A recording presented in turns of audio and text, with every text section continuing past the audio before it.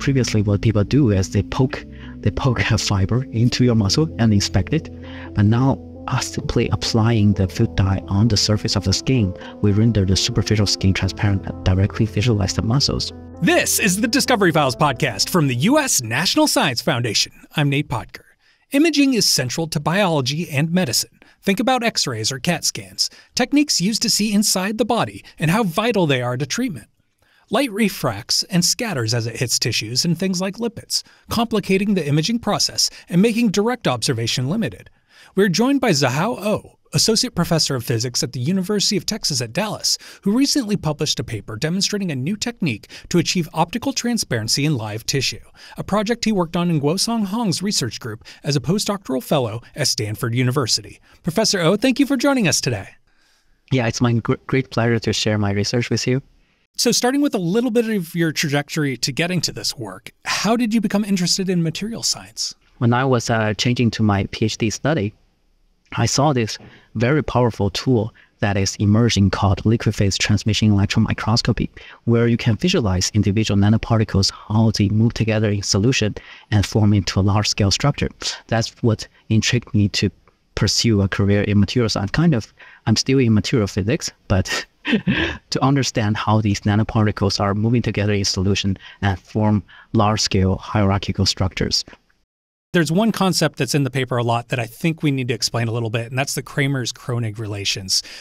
Can you explain that as simply as possible? Yep. The Kramers-Kronig relations is actually a very fundamental relation in physics. Um, a lot of times uh, when a physics property that has both what we call real part and imaginary part these two are connected. It's not independent. So in terms of optics, the real part are the phase of the light that determines the phase and speed of the light, and the imaginary part determines the decay or what we call absorption. So these two properties are interconnected with each other, which means if you change absorption, it will change the phase, which is also refractive index. If you change refractive index, it will also change the, the absorption of the material. So Kramers-Kronig relation basically link is a mathematical description of how you can calculate absorption from refractive index or calculate refractive index from absorption. So getting into this refraction and the start of the project, where did the idea originate? Yeah, so it's uh, actually very interesting story behind it. So as I mentioned before, I have a training background in physics and I got uh, my PhD in kind of material science and material physics. So I started my project by asking a very fundamental question. What, how does light interaction with tissue or interaction with particles change in an absorbing media? So I, I spent a year digging into the theory and did some preliminary experiment and try to prove that there's a scattering change when the medium changing from absorbing to non-absorbing. And uh, after a year's study, uh, study, we built up enough uh, theoretical background. And then my advisor and I stayed together and we were looking at our my preliminary results. And then we realized it seems like when the uh, the, the, the medium changing from absorbing to non-absorbing, the refractive index also get changed. That leads to our thoughts that maybe this can be used to design this um, reduce the scattering method for biological tissue. I was on a call with one of your colleagues, and they were talking about how you even went back to studies from the 70s when you were digging into the literature and like old things that nobody had even thought of to look at in a long time. Exactly. We were um, because actually the, we, what we were talking about is light interaction with particles It's actually a very old topic that if you remind us, this is this reminds me of the Mie scattering, Rayleigh scattering, where people were theoretically investigate how the particles inter, uh, interact with electromagnetic waves. All the theories are actually starting from there, but now we are putting into a new environment, new texture that we are studying how this would affect in a biological environment and biological related questions. So, thinking about the light scattering, what are some of the challenges kind of looking at that or, or figuring out how it even is interacting with different tissues or different surfaces? If we think about the scattering, so um, why tissue is this is important in biological tissue. So the physics behind it is actually quite sim- simple. So uh, a simple example is bubbled water. So if you can imagine that you have air, which is transparent, and the other is water, it's also transparent. When you mix these two together, you will see the um, the the bubbled water becomes whitish. How could that happen? And so when light goes through this, it goes through these microscale interfaces of air and water, water and air. So every time it goes through interface, the light changes its propagation direction. That's why the whole system become opaque or whitish color. So this is air water. The physics behind this is the same as tissue. So tissue, as you can imagine, we are mostly made of water. We are composed of probably 60%, 70% water. And inside this aqueous background, there are functional biomolecules like proteins, lipids, fibrils. They have a relatively higher refractive index in comparison to water. So similar to this interface uh, description before, when light goes through, every time it changes this optical contrast, it will lead to um, change of propagation direction and uh, the tissue becomes scattering. I think that's uh, the origin of scattering. And this limits all these optical imaging techniques because you can imagine light cannot penetrate very deeply into the tissue because of this existing scattering happens at the microscale. Like it's interesting because I had never really considered that you might be able to see through the skin in the way that you've found here. Um, so to get to the to payoff, you've discovered a way to make skin translucent more or less and be able to see the different uh, depths yeah. there. Can you tell us a little bit about what you found you could use to do that? Right, right. In in in our uh, because we are in academia, so most of our research we are looking at how can this be improved for biomedical research. And optical imaging is one of the most important tool for biological research. So now we have a way that we can make us to probe the features that are usually embedded inside deep tissue. For example, what we have we have been proven as uh, several different examples. First one is we apply on the head and then we uh, visualize the vascular structures in the brain. So previously people can do this, but you need to open the scalp or and skull, as, and you can imagine how invasive those are. But now we can directly apply this foot dye and make tissue transparent and visualize the vessels directly. And the other example we were doing as we are looking at sarcomere features, which are micron scale features in the limb. And previously what people do is they poke they poke a fiber into your muscle and inspect it. But now simply applying the foot dye on the surface of the skin, we render the superficial skin transparent and directly visualize the muscles.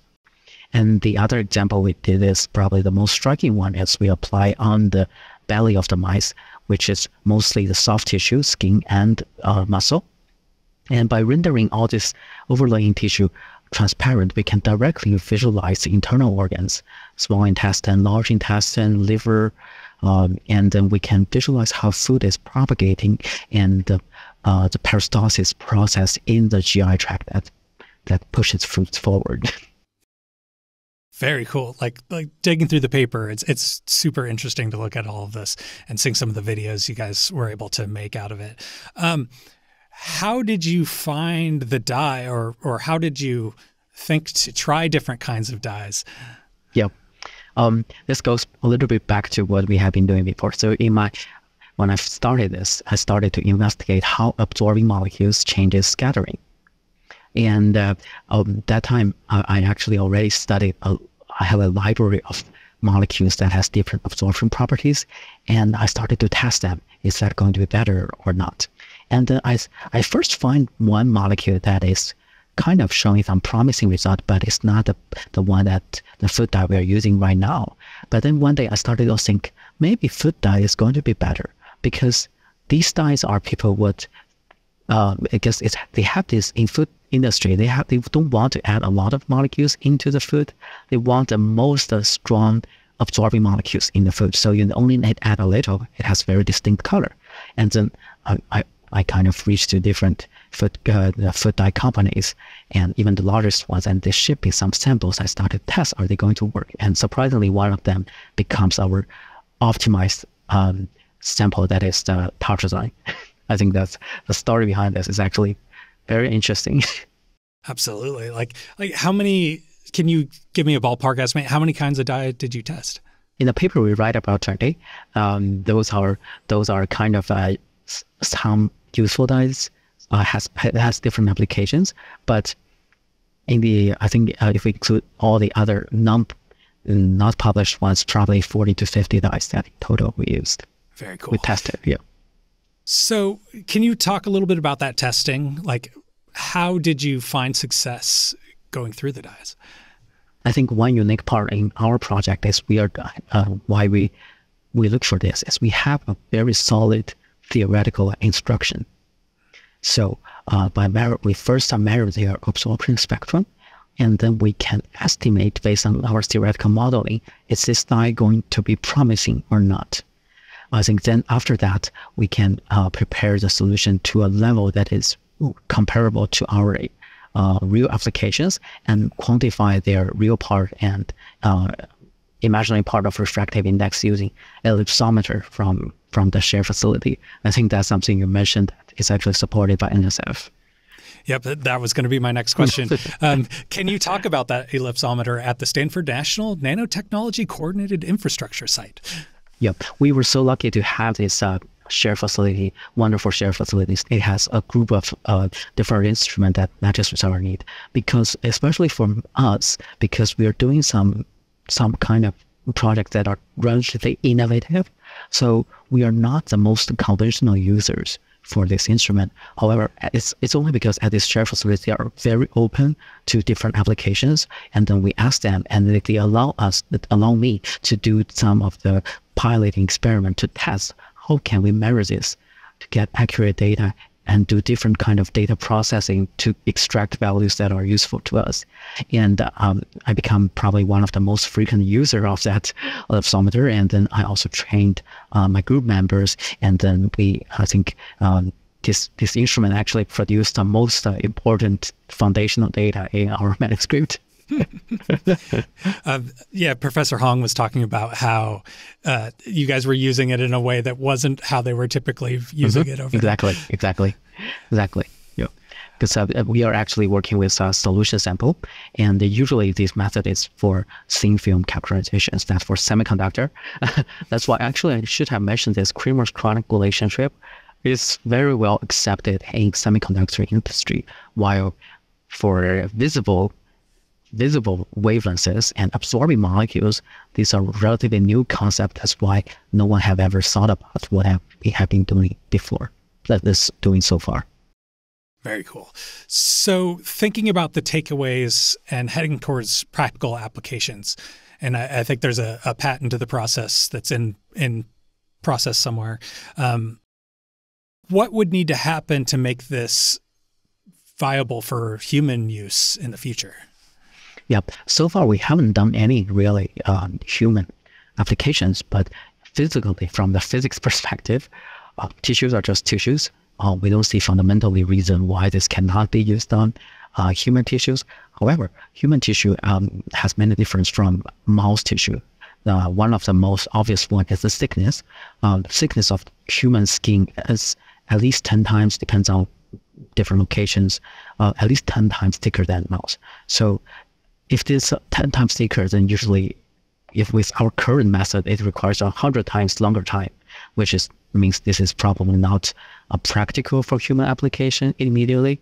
However, um, there are ways, uh, there are more advanced drug delivery ways that people are developing.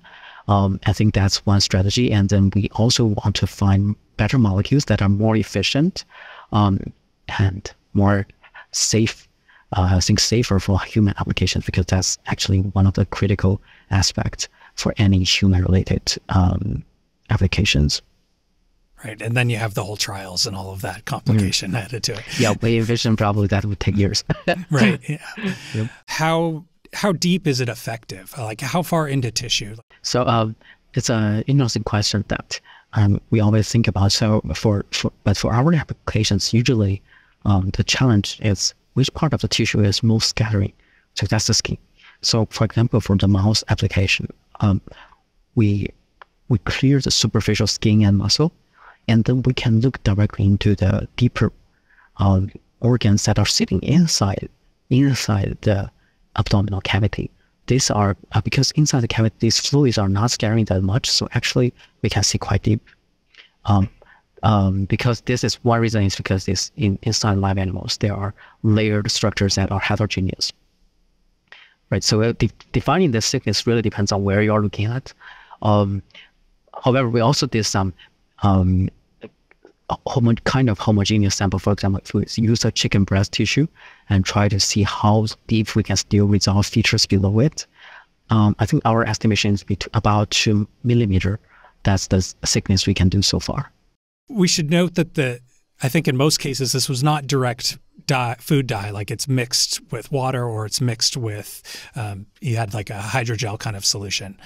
Can you talk a little bit about its effectiveness with different uh, portions, I guess?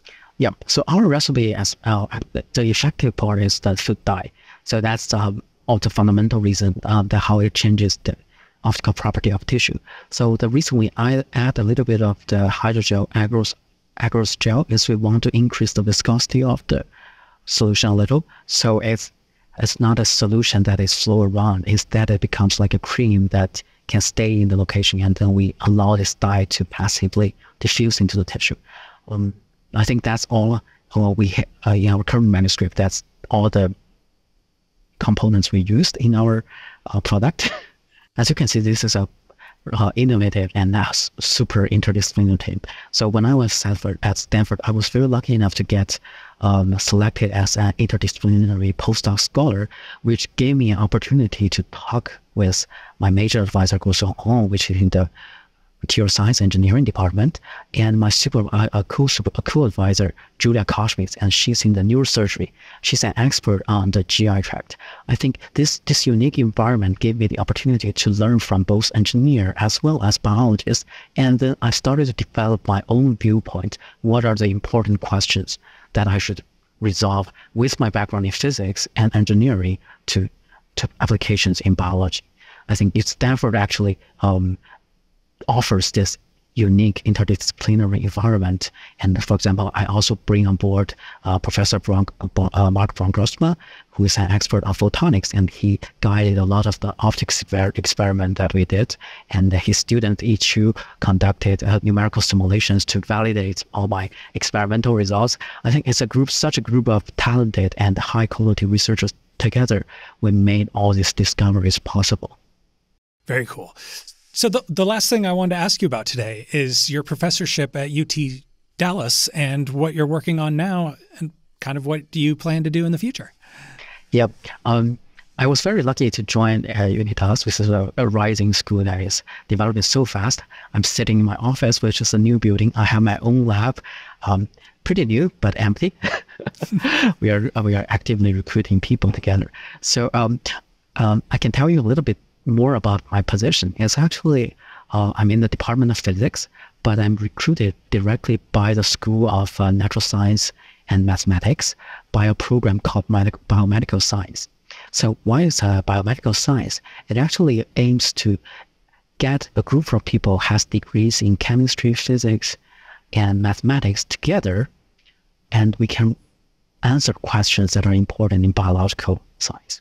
I think that's why I feel so lucky that my background, my training in physics, material science get evaluated in this biomedical science program. And I wish that I can continually producing this interdisciplinary work and innovative solutions to the biological questions. I think definitely in my own group, I'm going to continuously developing um, these platforms, but I'm also hoping to uh, utilizing my knowledge in physics and material science to uh, think about more challenging questions that are in currently limiting biology.